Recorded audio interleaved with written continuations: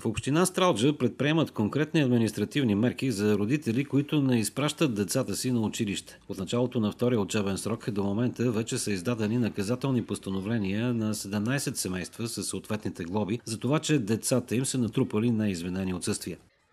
В четирите общински училища в град Стралджа и селата Зимница и Войника учат близо 1200 деца. Други 340 са обхванати в детските градини и техните филиали по селата. Всеки месец се обобщават данните, получени от директорите на учебни заведения за децата, които не посещават училище. Следват разговори с родителите. Ако те нямат ефект, се налагат глоби. По закон, закон за преучилище и училището възпитание, имаме 50 лева минимална глоба, от 50 до 150 лева и при повторно нарушение вече става над 150 лева. Кметовете на общини имат право да ги налагат тези глоби. Ние наложихме вече 17 глоби, като по този начин се надяваме да накараме родителите да, да вкарат своите деца в училище. Защото не може да се продължава така.